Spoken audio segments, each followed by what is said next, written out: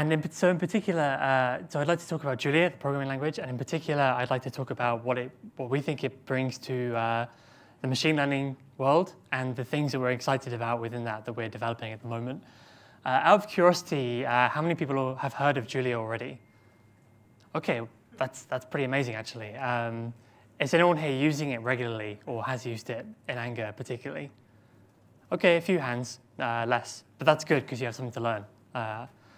Like in there. So yeah, we've had a bunch of really great talks uh, today, and we'll have more tomorrow on applications of machine learning.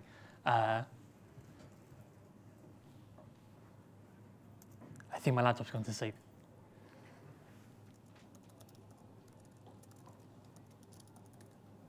So yeah, lots of talks on applications, uh, all of which is very cool. Um, if you're like me, then you might want to take a step back and kind of think that, about the tooling that enables these things, right? Uh, people are able to work much faster and easier uh, than they could in the past. They're able to scale up to much bigger problems and more complex things, um, especially without having like any particular knowledge. You know, you don't need to be a GPU programmer anymore to make effective use of neural nets or machine learning, uh, which is a great thing. And partly that's because of breakthroughs in technology. Partly it's actually because the tooling has improved so much over the course of 10 years or so.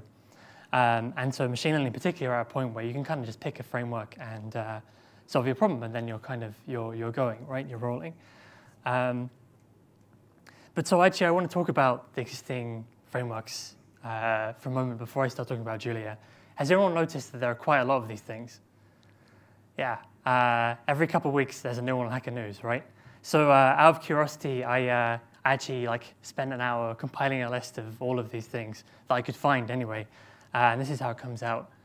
Uh, there are a few. Um, and you can see the, uh, the more well-known ones on the left, TensorFlow, MXNet, Torch, that kind of thing. Some less well-known ones, all the big players are here, Intel, NVIDIA, even Amazon. I think my favorite one is uh, this one right here, the GNU Neural Network. Um, everyone has one of these things, right? You have to. Um, so yeah, and uh, by this point, you're probably expecting me to say something like, uh, Julia has an even better one of these, right? Um, and you might be thinking, of this XCD, KCD, there's always a relevant one, right? We have a new one, we have a new standard, which is going to cover onto everyone's use cases. So, and this is kind of how people view the situation, right? People view it as a problem that there are so many of these things, and for good reason, right? It's a lot of duplication of effort. Um, and it's a new API to learn when you want to move around. So, uh, but I kind of want to examine that and break it down. Is it a problem? Uh, can we have like, can we not just invest our effort in TensorFlow, for example, and make that really brilliant and not have to worry about the problem ever again, right? The problem is that each of these frameworks does different things well. Uh, that's the core issue. Um, so Gene earlier on talked about PyTorch uh, compared to things like TensorFlow and Keras. And that's a great example uh, that I have here. So we have, for example, Dataflow-based uh, libraries like TensorFlow, which require you to specify the whole computation graph. And once you've got that, you can distribute it over multiple machines. You can parallelize, you can deploy to a smaller embedded environment. Um, you can apply all kinds of memory optimizations.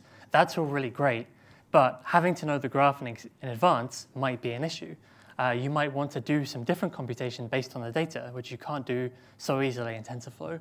Uh, or you might want to do things like random gradients uh, in a custom way for reinforcement learning. That kind of thing is harder in TensorFlow. Then you have PyTorch, right? PyTorch addresses all of those problems. You're just writing Python code, and it differentiates for you. That's amazing because you can do, uh, you know, write whatever code you want for your network. You can do all the control flow you want and for loops and so on. But then you have this thing of struggling with optimization. And I can tell you, as someone who spends a lot of time thinking about how to implement these things, this is quite a fundamental trade-off.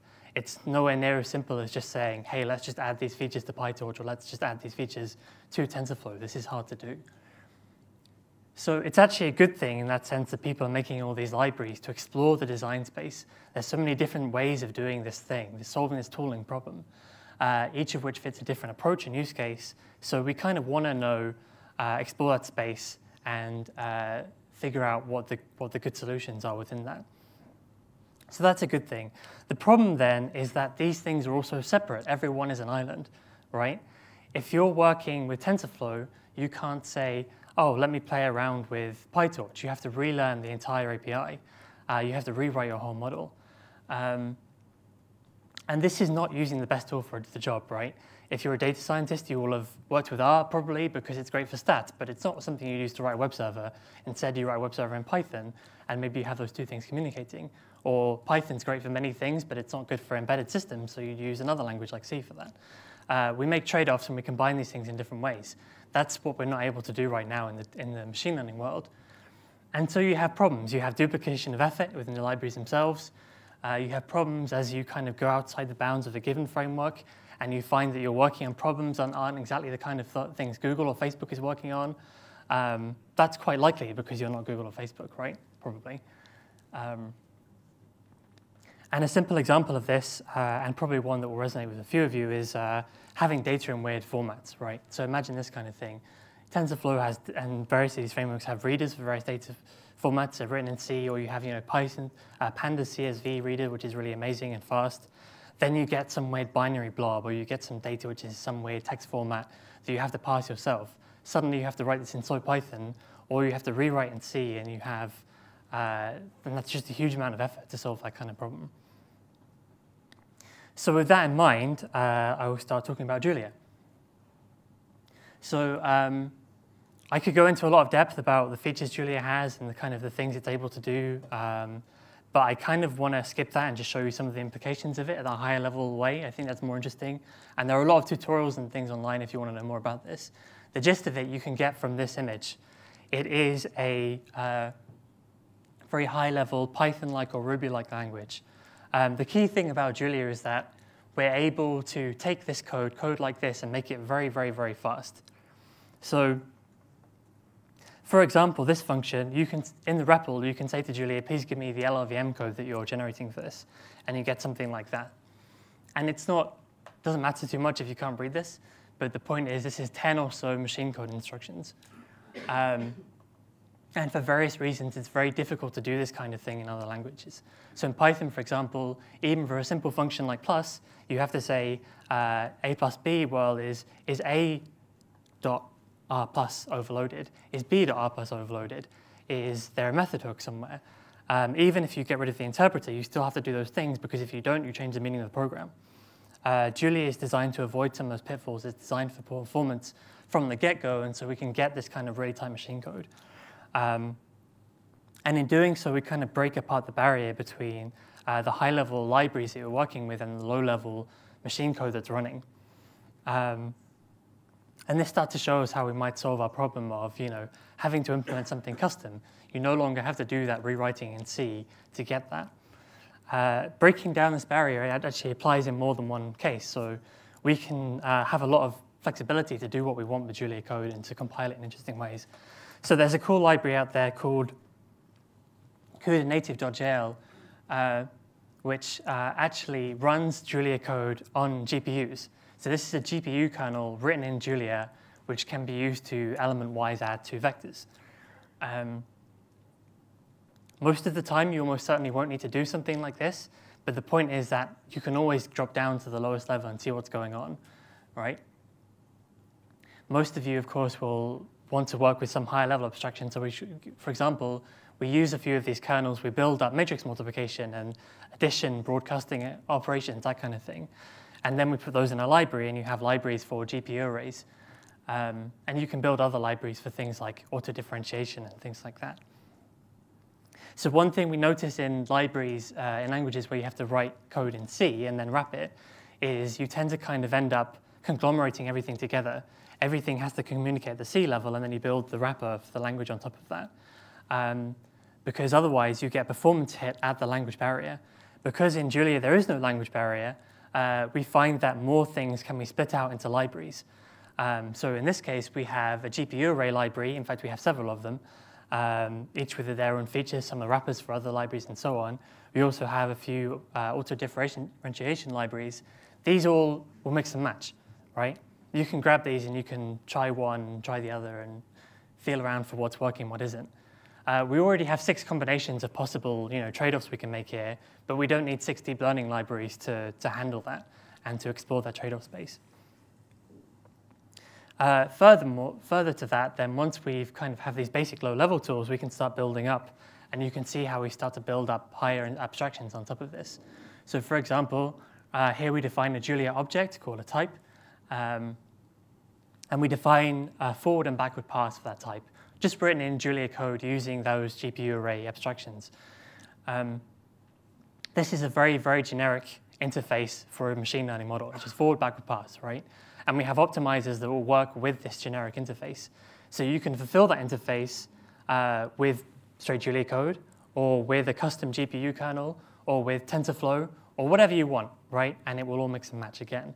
So obviously, uh, in this case, like we don't always want to write this kind of low-level code. We want to write, write high-level kind of mathematical code and have the compiler work out that that should be done in place and so on, things like that.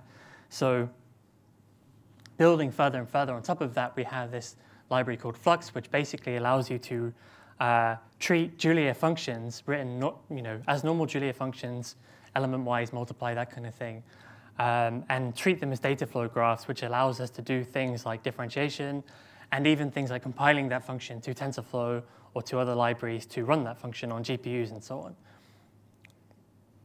And then we can, you can see that this does, uh, supports both a forward and backward pass. So this is already something we can use as a layer in one of our models. Um, and that's kind of very straightforward. This probably looks at the moment a lot like building a graph in TensorFlow as you would in Python.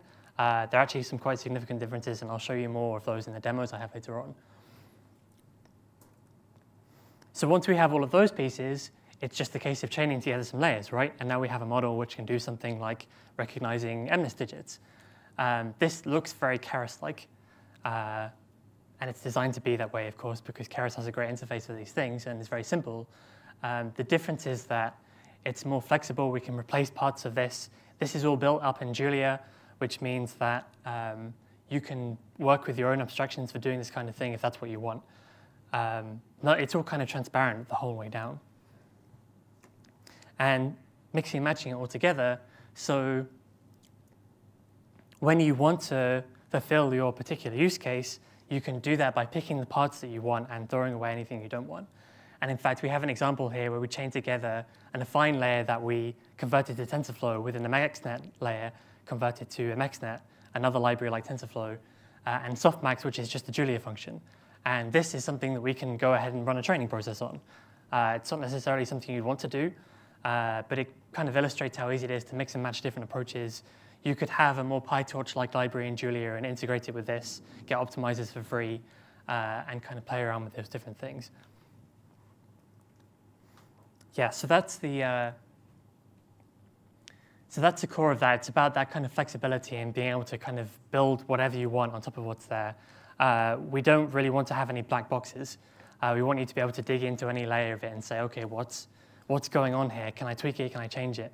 Um, meanwhile, of course, you can use the best of breed stuff. You can use TensorFlow if you want. There's nothing wrong with that. Um, so yeah. Uh, oh, and so uh, another thing I mentioned. So uh, what we what we tend to find in the Julia community is that uh, we'll have people who start using the language, uh, and a month later they might be uh, submitting patches to like packages or to the core language on the GitHub repo and things like that, and implementing strange new kinds of arrays like bit arrays and all that kind of stuff. Uh, and that's not really something you ever find in uh, an ecosystem like Python's. Um, although it has a huge number of great developers, uh, you tend to, you, knowing Python isn't enough to develop Python because Python, NumPy and Python itself and so on are not written in Python. Uh, because Julia is written in Julia, uh, there's such a grad, like such a smooth transition from user to developer, um, which has been a great thing for our ecosystem so far. So I want to tell you a bit more about Flux and the work we've done there, so I'll load up those demos. So I'm just going to grab some water. Is this kind of readable?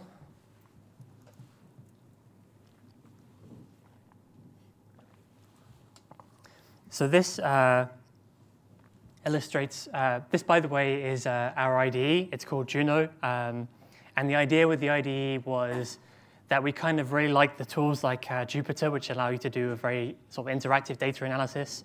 uh, in a very intuitive way and uh, let you visualize things and plot and so on. Um, but we wanted something that was more tuned to kind of developing code as well as just doing a data analysis. So this is an IDE which has many kind of Jupyter-inspired features, uh, like you know, like plotting support and so on. But also you can work with files, and it's built on top of Atom, so it's a great text editor. Uh, and we've done a lot of work Atom in, on Atom in the process of building this. So uh, we have a fairly standard console. Uh, we can type 2 plus 2 and get 4. Uh, we sometimes find we have to wait for the compiler to run a bit uh, the first time, but then after that will be uh, very quick.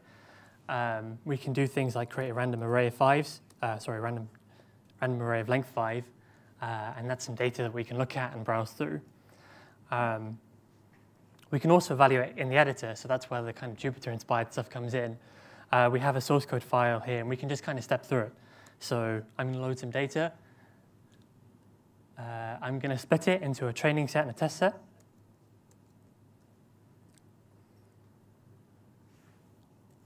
It uh, might struggle a bit while it's uh, trying to display on two monitors because it's quite an old laptop. Hopefully it will uh, load up. Um, and so you can see, again, like this is very, yeah, Keras-like code. It's basically the same thing I had up before. Uh, we're writing this thing in terms of the uh, chaining some layers together. Um, so what's interesting about this uh, is uh, less kind of the uh, the affine, like the, the stacking of layers thing in itself, but in fact the uh, the way that's implemented. So I can actually drop into the um, the library here, and I can say, okay, look, let's look at Flux's affine layers, and we can see it's defined in this very simple. It's just a logistic regression, so we have a weight matrix and a bias, um, and it's x times w plus b, right? So, oh, this is loaded up now. So you can see we're able to just browse through these uh, arrays. So these, uh, the data I've loaded up here is MNIST digits, uh, which I'm sure you're familiar with, but in case you're not, they look like this.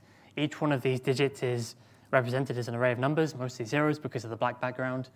Um, and we have some output data, which is uh, a one-hot encoded vector of classes, which says that this is a three, for example.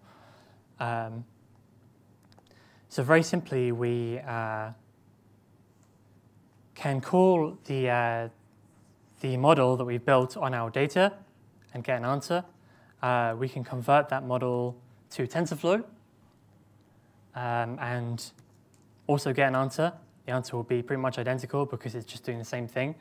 Um, so yeah, it's, it's kind of seamless enough that it's hard to even tell if it's uh, really going on, but then you'll feel your GPU heating up if you have one. Um, or equally, we can do things like work with a MXNet instead. And that might be handy if, for example, you want to test the MXNet. MXNet is faster for some problems in TensorFlow, so you might want to try out MXNet quickly and see if it runs quicker for your problem. Right, that's a useful thing to be able to do. Uh, I'll show you quickly. Uh, I won't show you the training process because that takes a while, but I'll show you quickly the uh, some of the tools we have. So within the IDE, Julia has obviously built for these very numerical, intensive computations that go on for a long time. Um, and so we have some tooling to support that that's very well suited to the kind of thing machine learning does as well. So for example, we can annotate a for loop uh, with this at progress annotation. And what that will do is that will cause the IDE to show uh, the progress as we go through.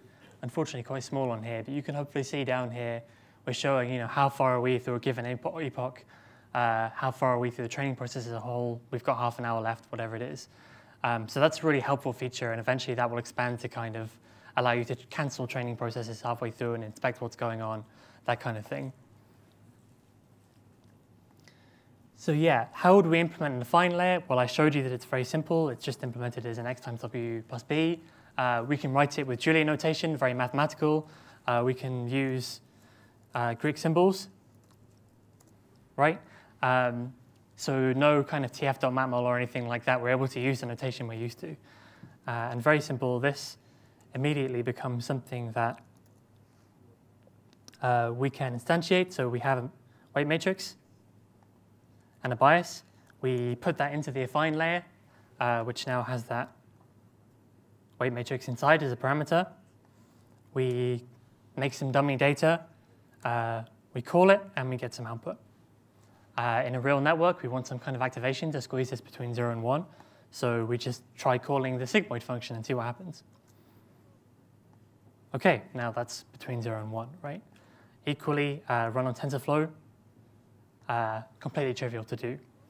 So again, like, uh, what's the key difference from uh, building a TensorFlow graph as opposed to like running Julia code on TensorFlow? Well, let me show you what the kind of debugging workflow looks like if we're using this. So I define a uh, slightly more complex layer. Uh, it's like a two-layer perceptron. So we have a first layer and a second. Uh, we have we call the first, then we activate, then we call the second, then we softmax. Um, so we can instantiate and convert that to TensorFlow and then run it. And we have a shape error.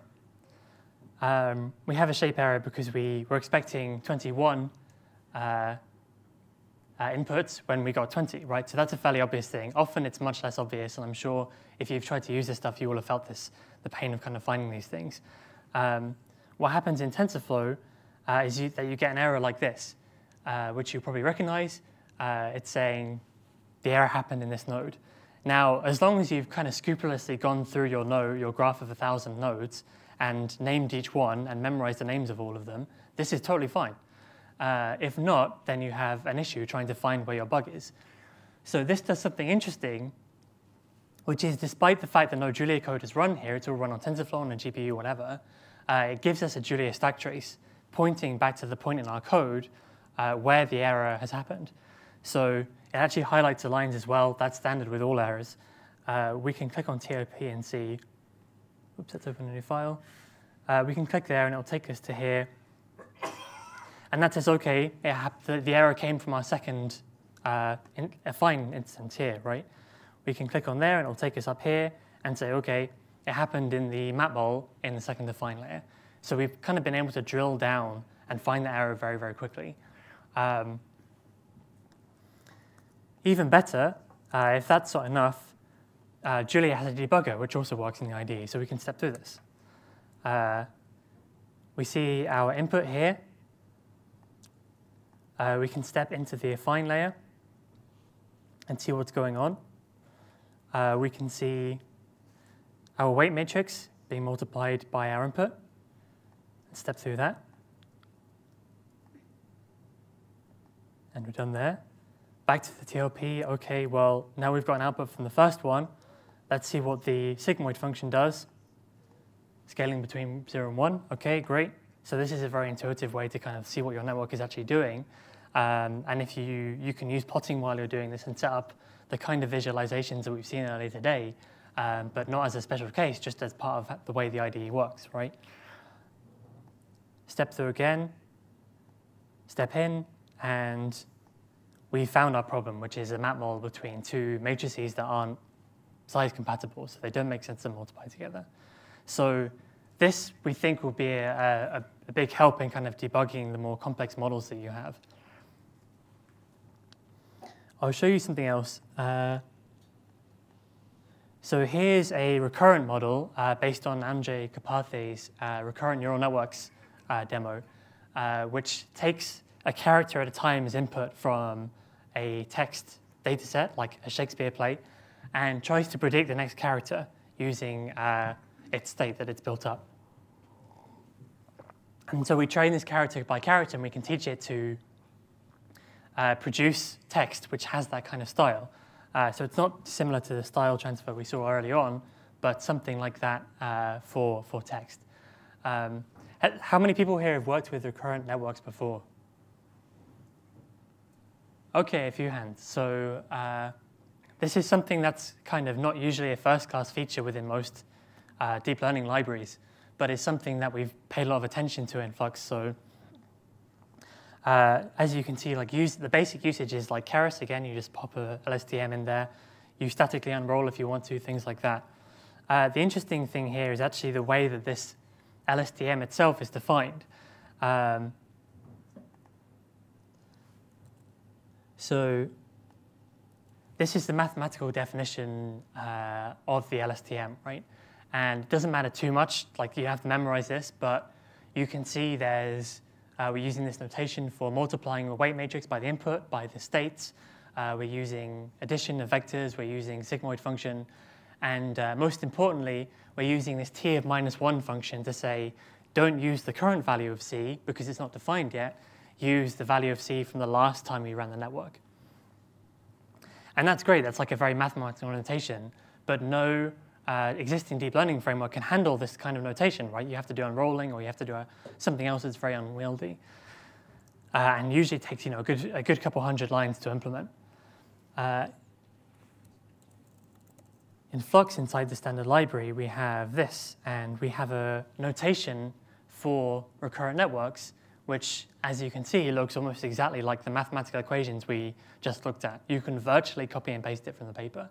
And so this file contains uh, three different uh, recurrent network implementations instead of just the one that you normally find if you look up in you know, the Keras source code or something. So that's very powerful. And if you want to, again, like the, the core takeaway is if you want to do something custom, it's very, very easy.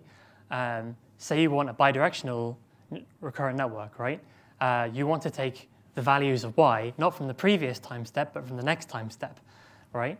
Um, well, that's as simple as changing this to plus one instead of minus one. Uh, there's no crazy hacks going on here to, to achieve that kind of thing. So uh,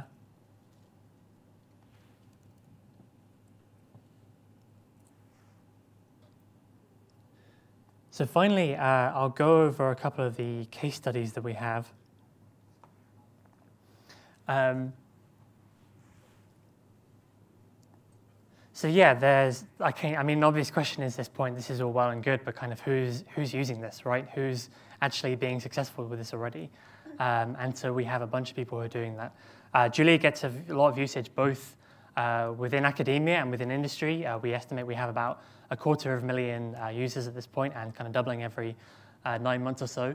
Not yet you know, quite a household name for programmers, but certainly getting there as we go along. So case study number one, uh, this image is from the Sloan Digital Sky Survey, which um, has produced about, well, a few hundred terabytes of astronomical data from the sky. Um, now this here is actually a very, very small section of the sky, maybe a minute of arc or something like that. These little dots here, if you look closely, are not stars. This here is a star. These are all galaxies. Uh, and if you can see it, then, then you can see that, you know, ones like this are horizontal and a bit yellow, and there's ones up here which are kind of spiraling and red and that kind of thing. Uh, there's something right here, which I'm not sure, but it looks a lot to me like a black hole. Um, if you're familiar with it, the, uh, a black hole is heavy enough to actually bend the space-time around it. And the light coming past it will be bent as if you, know, you put a lens there. So it's called gravitational lensing. And we get this warped view of the sky behind. So we can't see black holes because they're pitch black. Um, so by definition, we can't get any photons from them. But we can kind of infer their presence from this kind of image. So that's kind of the core takeaway here is actually using kind of the features of this image to infer things, right? That's a core machine learning problem. And so there's a project called Celeste uh, at the University of uh, California, Berkeley, which is doing exactly this, and they're doing it in Julia. So they have built uh, a huge graphical model which goes all the way from, um, from you know, what's the probability of a given object being in the sky to what kind of distribution of photons does that emit to what's the Poisson distribution of photons hitting the camera's lens right? And they sweep back through that model and they go, then go from photons to, uh, to stars and galaxies in the sky using variational inference, uh, as was discussed earlier today. So this is one of the biggest graphical models ever run in a scientific context. Uh, it's huge.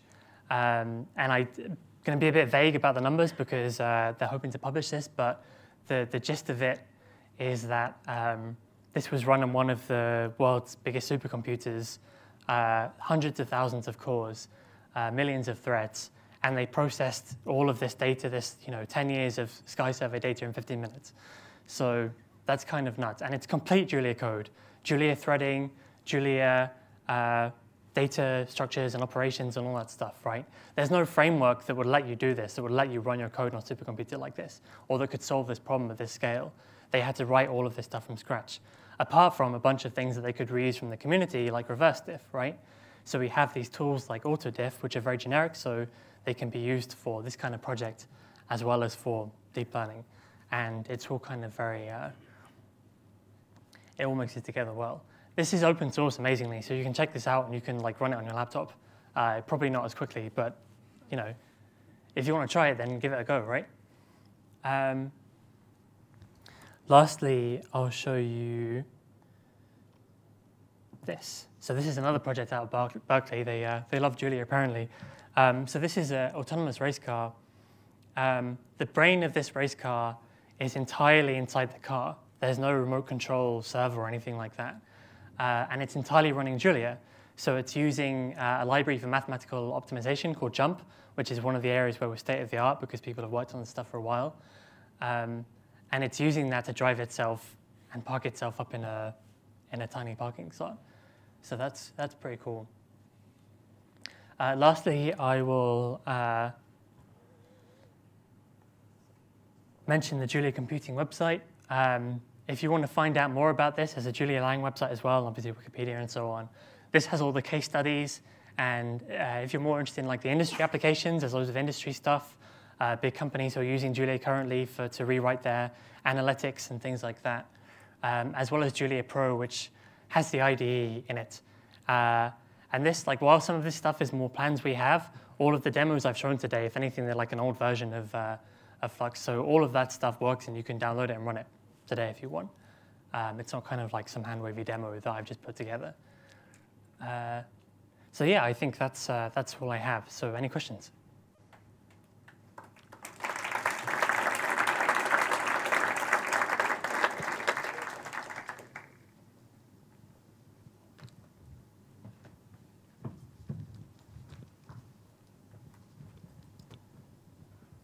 thanks. Uh, cool features, man. Um, the um, one of the features from Julia is, I believe, that there's a JIT, right? So you have a function, you can declare types, and that's the main speed up.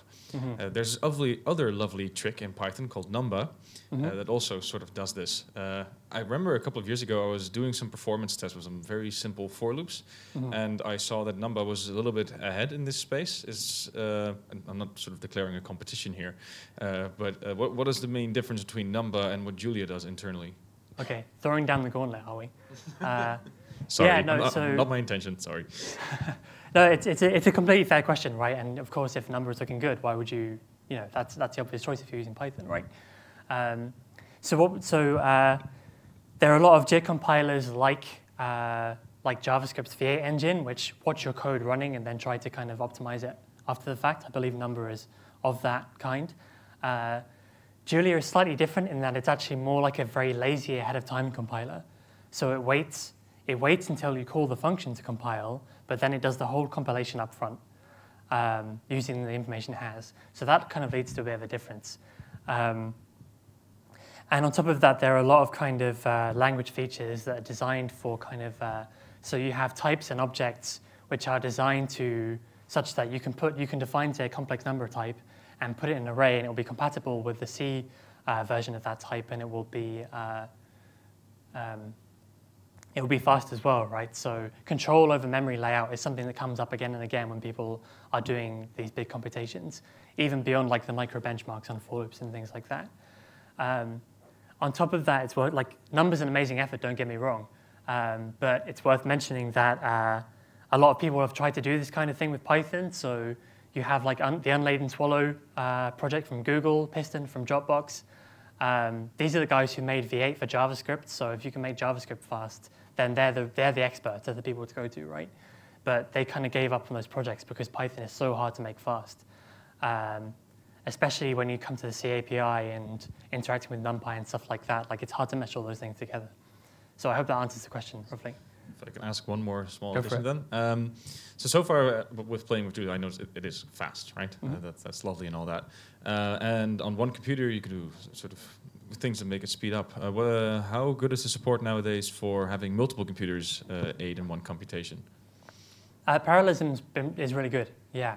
Also for multiple machines? Yeah, yeah. Okay. Um, you can. So this is actually built into like the standard library of the language itself. You can uh, like boot up an SSH cluster, have like some list of credentials, and say boot up these machines into a cluster, and then you'll have them working. In fact, I could show a quick demo. Uh, I use the REPL because that's a bit easier.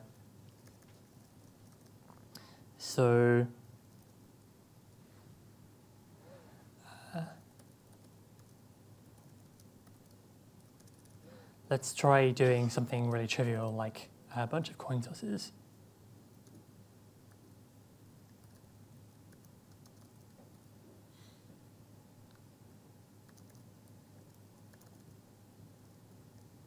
I don't know what will take a long enough time. So that runs, let's try and make it go for about three seconds. Uh, nope, it's too fast. Okay, this is a bit longer. So if we try and sum uh, a tenth of a billion random coin flicks, then we'll get about half of a tenth of a billion uh, back. Let's do addprocs. And this will simply uh, add two processes because I have two cores on my machine. Actually, it might be a bit more than that because I have hyperthreading, whatever that does. Um, so hopefully, I'm not going to guarantee this, but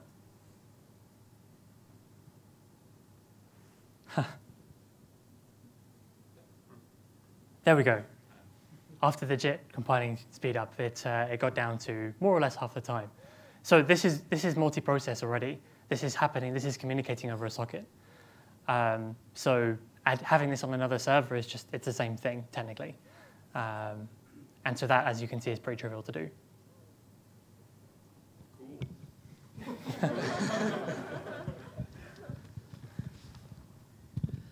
Hi, um, thank you. It's really, really interesting talk, uh, particularly around sort of the design trade-offs. Hmm. Um, my question is around is Julia good for um, processing lots of text rather than numbers and arrays of numbers? Yeah, yeah, that's that's a great question, um, which I kind of alluded to, but didn't really go into enough detail.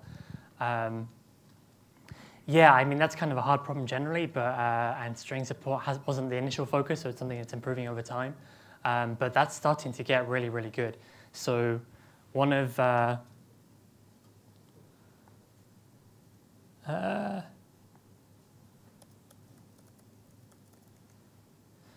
uh, one of the things we're working is kind of uh, and trying to push forward is working with uh, data in Julia, uh, data frames, kind of more loose data structures that aren't just matrices. Um, and so this is something one of my colleagues is working on, Shashi Gowda, at Julia Computing, um, which just does CSV reading, right? which sounds pretty trivial, but CSV reading is like an unbelievably horrible problem because everyone does like the commas in different places and like what starts a quote and what ends a quote, what is what what marks a quote in the middle of a string, that kind of thing. That's totally inconsistent between different things. So it's it's a very hard problem, surprisingly. Um, and this is a library which I think uh, in recent times beats pandas. Uh, and pandas is written in just in C code, right? So and it's very well optimized C code that's been written over many years by people who know what they're doing. So that's quite a significant achievement on Shashi's part. Um, I wouldn't necessarily say that a beginner in Julia could beat pandas in, in two days or something because it's just a hard problem to make this kind of thing fast. In general, you have to know uh, that that's a skill in itself, right? But uh, the fact that it's possible kind of shows where we are at this stage. Is there any more questions?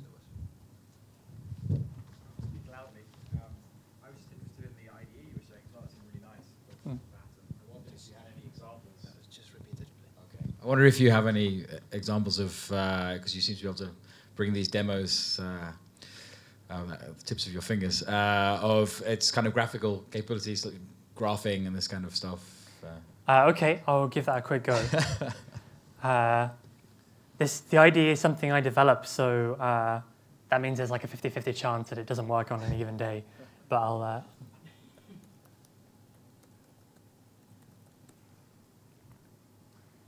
I don't have the plotting library installed, apparently. Uh, let's see. Maybe we should take another question while I'm just trying to fiddle around with this. I'll see if I can get it working.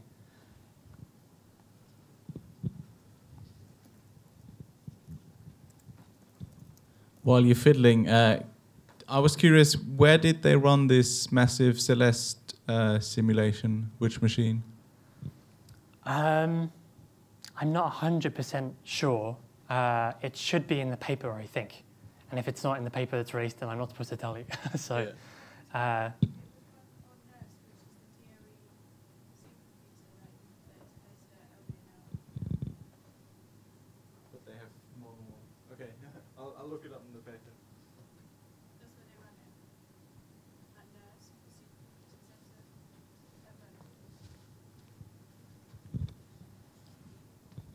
Yeah, sorry, I only know because I used to use the same machine in a past life. Um, they ran it on NERSC, which um, is a supercomputing center that's mostly funded by the Department of Energy in the US, um, but it's based at LBNL, I think, um, and it's used for lots of sort of high performance processing in physics and stuff in the US by academic institutions. Okay, very cool. Thank you.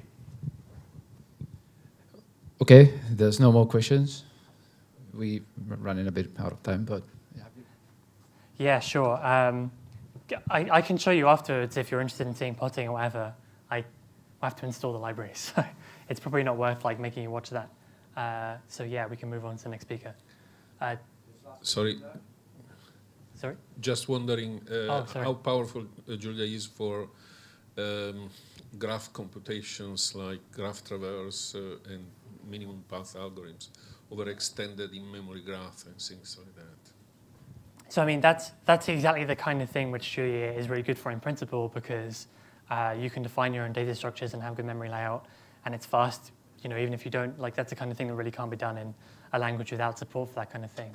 Um, there's a package called LightGraphs.jl, which I can point you to if you find me afterwards, um, which I think is supposed to be pretty good, but I haven't tried it that much myself, so I don't know what the different trade-offs are there. So, but that's probably the one to look at and see if it's fits what you need. That's great. Thanks for the talk. Thank you very much.